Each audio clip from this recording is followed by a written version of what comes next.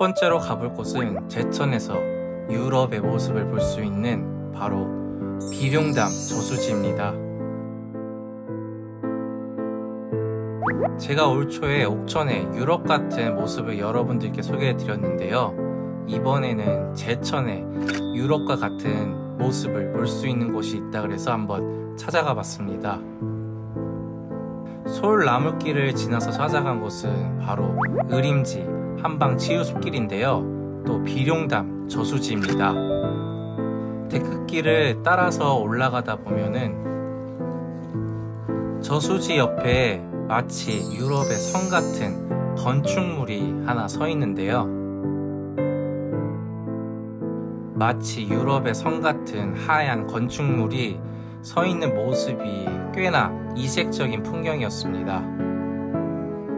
데크길을 따라 걷다 보면 하얀 성을 가까이서 볼 수가 있는데요. 저는 개인적으로는 가까이서 보는 것보다 멀리서 이 성을 보는 게 훨씬 더 좋았습니다. 사실 단풍이 물들어 있는 시기에 왔다면 더 아름다운 모습을 보여주었을 것 같은 곳인데요. 하지만 이제 가을이 끝났으니까 겨울에 눈 오고 난 뒤에 방문하시면 마치 눈 속에 하얀 성 같은 이국적인 모습을 보실 수가 있을 것 같아요. 많은 분들이 사진을 또 가까운 데서 찍으시는데 저는 개인적으로 이곳은 반영되는 성의 모습이 아름답기 때문에 멀리 떨어진 곳에서 사진을 찍는 게 훨씬 더 괜찮다고 생각합니다. 이곳은 의림지에서도 멀지 않은 곳이기 때문에 이국적인 모습을 보고 싶으시다면 이곳 비룡담 저수지 한번 방문해 보시는 걸 추천하겠습니다.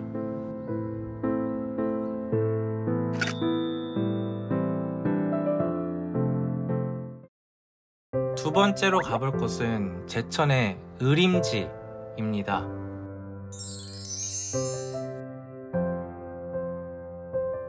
가을 끝에서 만난 의림지는 아쉽게도 아름다운 단풍은 거의 다 지고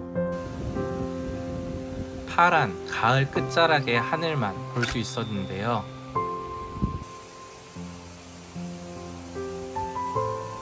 의림지는 제 생각엔 가볍게 제천의 풍경을 즐길 만한 여행지지 않을까 그렇게 생각합니다.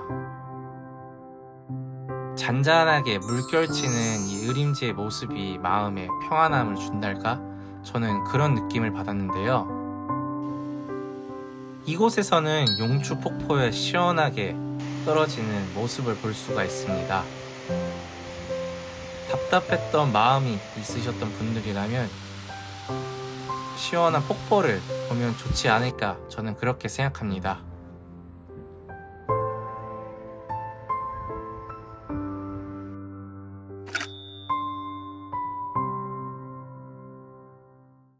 그리고 이번에는 제천하면 빠질 수 없는 여행지 제천에서 케이블카를 한번 타러 떠나봤습니다.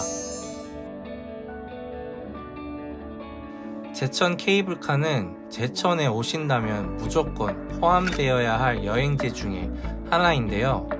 저도 여러 지역에서 케이블카를 타봤기 때문에 과연 이곳의 풍경은 어떨지 굉장히 기대를 하면서 올라갔습니다. 아직 제가 방문했을 때는 가을에 풍경이 아직 남아있어서 기분이 굉장히 좋았는데요. 전망대에 도착해서 바라본 제천의 풍경은 생각보다 훨씬 더 아름다웠습니다. 이 주변의 풍경들이 굉장히 다양하고 신기해서 넋을 놓고 바라보게 되었는데요. 그리고 제천의 전망대 시설이 360도를 자유롭게 볼 수 있도록 만들어져 있기 때문에 훨씬 더 다양하고 멋진 풍경을 볼 수가 있었습니다.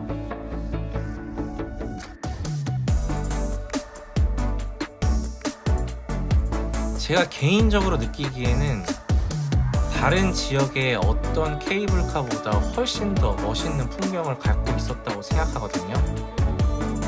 그래서 제천에 오신다면 저는 다른 곳은 모르더라도 이 케이블카는 꼭 한 번은 타봐야 되지 않나 그렇게 생각합니다.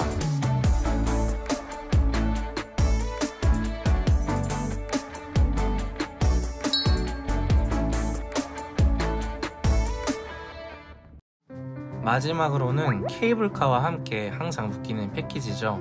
옥순봉 출렁다리로 향했습니다.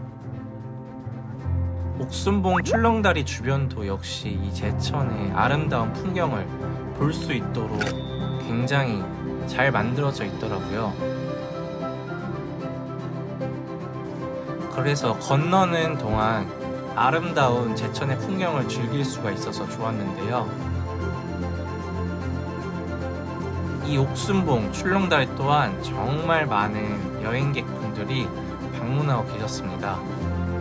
하지만 제가 출렁다리도 여러 군데 방문해 봤는데요. 이렇게 출렁다리가 흔들거리는 곳은 또 처음이었습니다. 그래서 조금 더 재미있지 않았나 저는 그렇게 생각합니다. 이렇게 패키지로 묶이는 출렁다리와 케이블카인데요. 만약에 둘 중 한 곳밖에 못 가는 시간이 있으시다면 저는 케이블카를 꼭 추천하겠습니다. 그래서 제천의 아름다운 풍경을 보시는 게 훨씬 더 좋은 여행이 되지 않을까 그렇게 생각합니다.